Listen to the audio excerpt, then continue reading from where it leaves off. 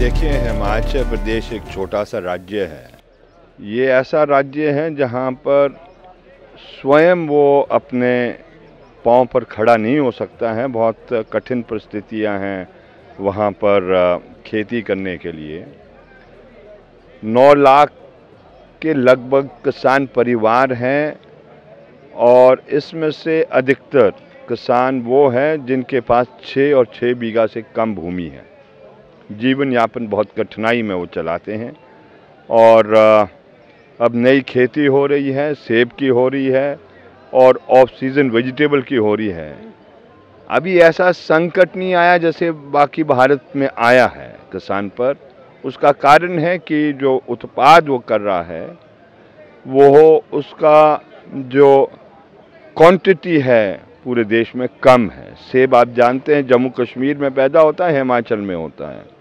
लेकिन ये जो डब्ल्यू हो गया है, ये बहुत बड़ा संकट पैदा करेगा सेब की खेती में। और थोड़ा ऑफ़ सीज़न वेजिटेबल है, उससे ये हिमाचल प्रदेश की खेती चलती है, लेकिन कठिनाई में किसान है। अखिल भारतीय किसान सभा ने राजस्थान में ऐतिहासिक आंदोलन करके भारतीय जनता पार्टी की वसुंधरा सरकार को झुकाने का काम किया है। पशुधन की बिक्री पे जो राजस्थान में बछड़े पे तीन साल की पाबंदी लगाई हुई थी, उसको दो साल कराने का काम किया है। और जो समर्थन मूल्य पे पिछले तीन साल में कोई भी जिन्स राजस्थान की सरकार ने नहीं खरीदी थी, पहली बार उड़द है, मूंगफली है, मूंग है, वो खरीदने के लिए सरकार को बाध्य होना पड़ा है। और डेढ़ लाख मेट्रिक टन मूंग खरीदने के बाद बंद कर दिया था। अखिल भारतीय किसान सभा ने पूरे राजस्थान में प्रोटेस्ट किया। और अब साढ़े तीन लाख मेट्रिक टन मूंग खरीद का किया है, जिसमें पंद्रह सौ रुपये प्रति कुंटल का है।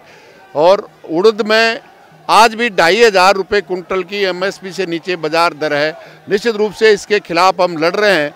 और मैं समझता हूँ, जिस तरह से राजस्थान में और महाराष्ट्र में भाजपा की सरकार को झुकाया है, इस देश की मोदी सरकार को भी झुकाकर, इस देश के किसान को बचाएँगे।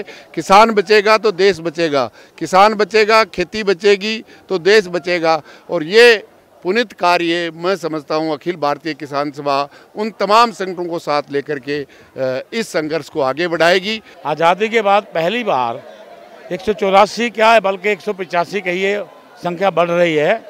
पूरे देश से जो है यहाँ पे किसान आए हैं। और आप ये समझिए कि 21 राज्यों के लोग इस में आए हैं। हमारी मुख्य जो है दो मांग हैं। एक है आपका स्वामीनाथन की जो रिपोर्ट है, उसको लागू करना, फ़सल का ड्योढ़ा दाम देना। दूसरा है जितने प्रकार के भी कर्ज हैं, किसी प्रकार का भी, उसको ख़त्म करना, माफ़ नहीं करना, उसको ख़त्म करना। क्योंकि किसानों का ही कर्जा जो है सरकार के ऊपर बराबर है। क्योंकि हर साल घाटा होता है तो उसको भी लेकर के है। दूसरा, ये बटाईदार जो किसान हैं, उनके लिए कानून बने। मनरेगा को जो है मजबूती से लागू किया जाए। यहाँ जो भूमिहीन किसान हैं, उनके लिए मतलब खेती का प्रबंध किया जाए। तो ये बहुत सारी मांग लेकर के किसान यहाँ आपके दिल्ली में आए हैं।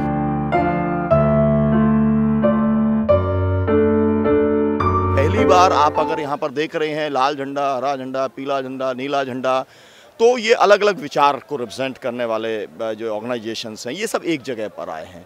इसी के साथ साथ में पहले किसान का मतलब ये है कि किसान मतलब बड़ा जमींदार किसान। यहाँ पर किसान का मतलब आदिवासी किसान, भूमिहीन किसान, महिला किसान, आदिवासी किसान, महुचारा किसान, ये सब किसान की कैटेगरी में तो हम लोगों ने ये एक बहुत ब्रॉड मंच बनाया और उसकी ज़रूरत हमको किस लिए पड़ गई कि एक सौ चौरासी किसान संगठन इस तरीके से इकट्ठे हुए कि मध्य प्रदेश के अंदर गोली चालन हुआ।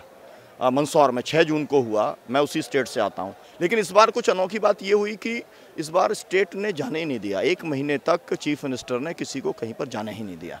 और तब फिर ये तय किया कि हम सब लोग मिलेंगे। अखिल भारतीय किसान संघर्ष समन्वय समिति का निर्माण किया। किसान मुक्ति यात्रा हमने शुरू की और पूरे देश में दस हज़ार किलोमीटर की हमने यात्रा की, उन्नीस राज्यों की यात्रा की और लगभग पचास लाख से ज़्यादा किसानों से हमने कॉन्टैक्ट करने का काम किया। और उसके बाद में हम लोग ये किसान संसद कर रहे हैं। इसके अंदर दो बिल पारित हुए हैं। आ, कल जो यहाँ पर पेश हुए ये बिल पूरे देश के अंदर किसानों के पास में बुद्धिजीवियों के पास में पार्टियों के पास में सरकार के पास में सबके पास में हम लोग भेजेंगे। हम चाहते हैं कि इसके अंदर अमेंडमेंट्स आएँ सुझाव आएँ। और उसके बाद में जो हम लोगों का एक फाइनल बिल इमर्ज होगा उसको फिर हम लागू कराने के लिए पूरी ताकत लगाने का काम करेंगे। इस देश में दो साल भयंकर अकाल हुआ। महाराष्ट्र से मैं आती हूँ लातूर जैसे राज्य महाराष्ट्र के लातूर जैसे ज़िले में ट्रेन से पानी लाना पड़ा था और पिछले साल अच्छी खासी बारिश हुई तो सरकार ने पूरे के पूरे खेती में जो अनाज आता है उसके भाव गिरा दिए और किसान की कंबर तोड़ दी। और आज आदिवासी भी किसान यहाँ पर आया है और यहाँ पर मछुआरा किसान भी आया है, क्योंकि हम नदी में जो मछली की खेती की जाती है, उसको भी खेती बोलते हैं। तो खेती की परिभाषा भी आज इस किसान संसद ने एक परिपूर्ण रूप से रखी हुई है।